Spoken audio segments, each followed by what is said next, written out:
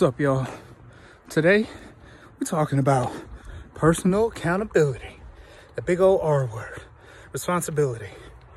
I think the hardest pill for a lot of people to swallow is it's our fucking fault. Period. No matter what's going on in your life, no matter what your present circumstances are, barring a tidal wave or fucking lightning strike, or you hit with a secret vial ooze or some shit and you turn into a ninja turtle, everything is and will always be our fault. In today's society, we live in a society of avoidance and deflection. It's somebody else's fault. It's our boss's fault. It's our wife's fault. It's our mom's fault.